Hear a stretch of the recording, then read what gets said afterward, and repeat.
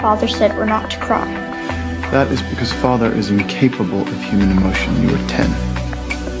Cry if you feel like